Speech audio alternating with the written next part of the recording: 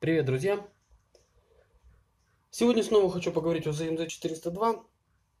А, дело в том, что ко мне обратился один знакомый с проблемой такой. Перегревается у него ZMZ 402, стоит он у него на УАЗ Буханка. Э, перегревается э, не всегда, а только при, при передвижении по пересеченной местности. То есть, если он едет по трассе, то у него все нормально. А если он выезжает куда-то там в лес, да, двигатель увидит грязь и сразу начинает там бедного его лихорадка бить, он начинает греться как утюг. И он попросил найти причину, почему у него перегревается э, двигатель. Для того, чтобы вам было понятно, о чем пойдет речь, давайте для начала коротенько пробежимся по системе охлаждения 402 э, разберем основные причины, по которым может двигатель перегреваться, а потом я вам расскажу, почему двигатель перегревался вот именно на его автомобиле. То есть двигатель у нас э, может перегреваться даже при наличии абсолютно э, адекватно работающей системы охлаждения. Да? Вот все нормально, а двигатель перегревается. Вот такие прибамбасы у нас тоже случаются. Итак, система охлаждения за MZ402. Буду рассказывать по этой схемке, по книжке, по которой я обычно рассказываю. Система охлаждения ZMZ 402 состоит из абсолютно базовых элементов. Да? У нее нет никаких лишних прибамбасов. А есть система охлаждения гораздо сложнее, там с кучей датчиков, с вентилятором, с электрическим свиском муфты, там с теплообменником, как на турбовых двигателях, допустим, стоит. Там разные есть. Ну, здесь вот чисто базовая система. Вот мы сейчас ее будем разбирать. Состоит система охлаждения 402 из блока цилиндров, с головкой блока цилиндров – по которой вот стрелочками нарисовано, по которой циркулирует вот именно охлаждающая жидкость. Ну, в нашем случае антифриз, наверное, все антифриз сейчас заливают воду, никто не заливает, наверное. Ну, хотя, в принципе, да, может и кто-то и заливает. Но это личные проблемы каждого водителя. Из блока цилиндров, из радиатора отопителя, который не дает вам замерзнуть, когда вы зимой ездите на автомобиле, да, вот патрубки соединяют вот его с помпой и с головкой блока цилиндров. То есть горячая жидкость поступает вот сюда вот э, из головки блока цилиндров и отводится вот сюда вот в помпу. Из основного радиатора, который, собственно, и предназначен для того, чтобы отводить излишнее тепло от блока цилиндров, патрубки вот его соединяет вот патрубок 1 входной и вот патрубок выходной, который возвращается вот сюда вот на, на, на помпу. Из термостата, вот здесь стоит термостат, самой помпы, вентилятора охлаждения, датчика, э, который дает информацию на указатель температуры, который находится на приборной панели, и решительного бака, который предназначен для того, чтобы поддерживать определенный уровень э, жидкости охлаждающей э, в системе охлаждения. Ну, вот здесь под номером 13 Интересный номер такой, да, 13.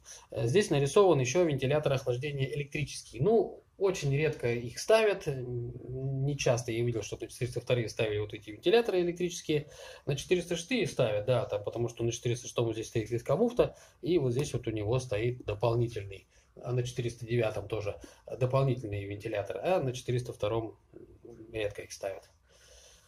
Итак, система охлаждения выглядит на 402 вот именно так. Теперь о неисправностях. Есть три основные неисправности, э, по которым двигатель вот может перегреваться. Это неисправность термостата, это неисправность помпы и это засорение вот основного радиатора охлаждения двигателя. Эти неисправности, в принципе, можно диагностировать без всяких там прибамбасов, заморочек и приборов. Да, то если у вас есть пирометр, да, можно пирометром температуру померить. Если нет, можно просто рукой потрогать. То есть, если, допустим, у вас засорился радиатор охлаждения, вот этот основной, диагностировать это можно так. То есть, если у вас вот этот патрубок горячий, а вот этот вот холодный, значит, у вас нарушена циркуляция вот здесь в основном радиаторе. То есть это все, все элементарно. Да? Можно заглянуть под крышку, если есть крышка там на самом радиаторе, и посмотреть, насколько там все засорено. Ну, частично будет видно, да. Но в основном вот так вот все это, да. Вот, то есть этот патрубок горячий входной, этот холодный. То есть, значит, вот здесь циркуляции нормальной нет. Это случается почему? Потому что мы редко очень меняем антифриз. Антифриз нужно менять как минимум раз в два года. Это не прихоть, это там не тараканы производители, это суровая реальность. То есть антифриз, он со временем изнашивается. Есть много разных всяких антифризов, да, э, красные зеленые, там синие, как тосол. Тосол, как ни странно, это тоже антифриз, да, не, не надо делить э, жидкости охлаждающие на антифризы и тосол. Тосол это тоже антифриз. Антифриз это переводе с английского незамерзающая жидкость, поэтому как бы да, тосол, как и все антифризы, состоит из основных четырех элементов. То есть это этиленглюколь, вот его содержание как раз вот в, допустим, антифризе плотностью 40%, это вот 40% этиленглюколя. Э, дистиллированная вода, присадки антижавчина и присадки антивспенивающие.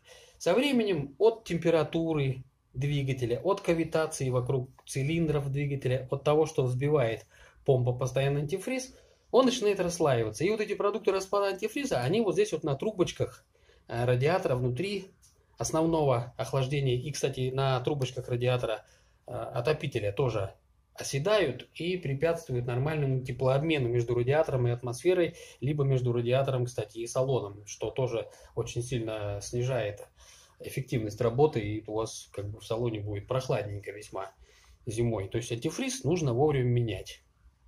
Следующая причина – это помпа. Э, ну, это с помпой Проблем бывает редко. То есть, если помпа, допустим, жужжал, зашумел подшипник, да, и у вас потекла помпа, вот здесь дренажное отверстие специально у нее есть. Если там, допустим, фибра износилась, помпа потекла, вы увидите, что там какие-то неисправности, какие-то э, проблемы, и помпу займите. Ну, если вам попалась какая-нибудь такая шикарная помпа, которая у вас проработала там лет 7, 8, там 9, да, и вот здесь вот э, на помпе есть крыльчатка, на которой лопасти. И вот эти лопасти со временем от э, кавитации там от сбивания антифриза, они тоже изнашиваются. Если у вас помпа отработала долго, то есть вероятность, что вот, эти, вот эта крыльчатка, она тоже подносилась. И в результате у вас э, вот э, будет плохая циркуляция охлаждающей жидкости по двигателю, и, соответственно, вот э, проблема с охлаждением двигателя. Тоже где-то вот по пересеченной местности будет он греться, а по трассе, то есть будет все нормально. И третья причина – это термостат. Термостат стоит он вот здесь.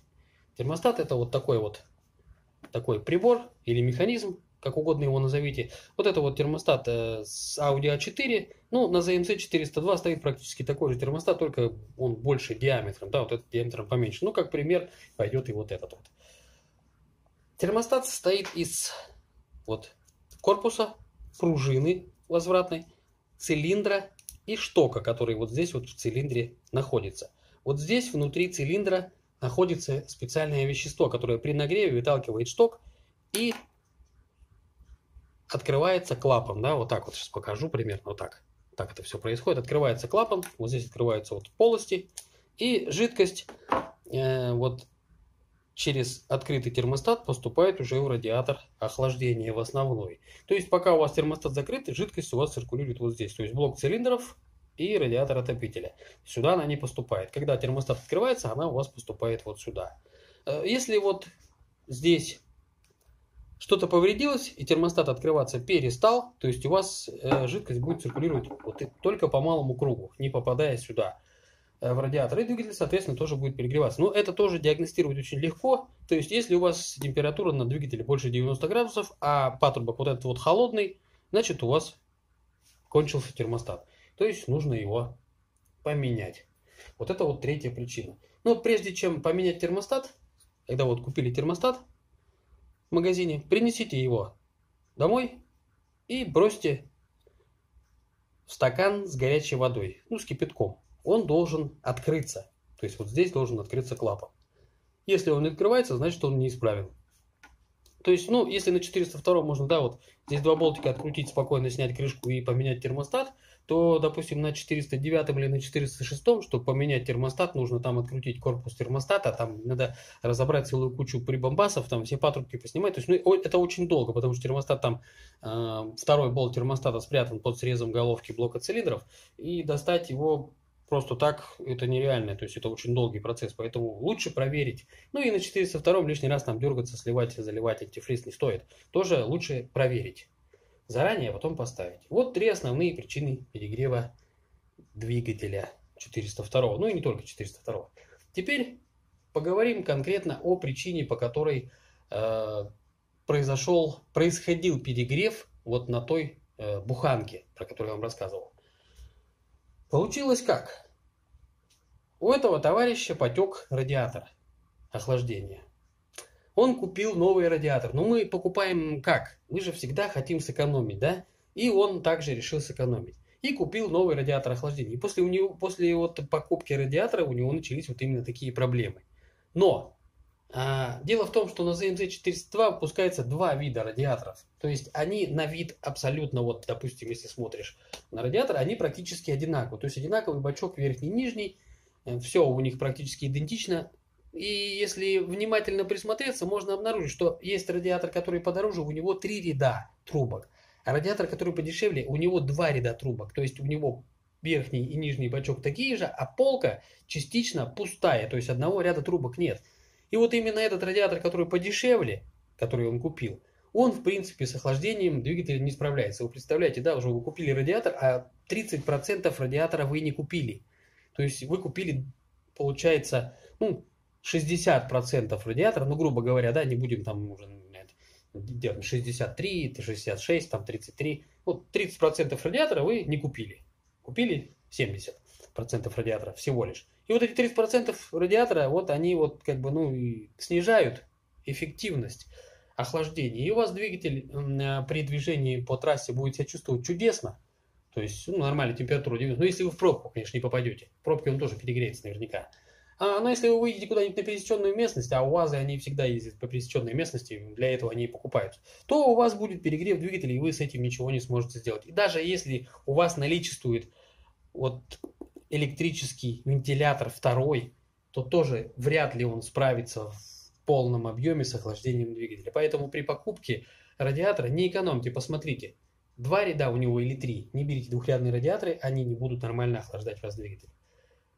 Вот такие вот три причины основные перегрева по неисправности двигателя и вот такая вот причина по покупке запчастей. Если это видео кому-нибудь поможет облегчит жизнь, поможет найти какие-то неисправности. Был очень рад помочь. Пишите комментарии, подписывайтесь. Всем пока, до новых встреч.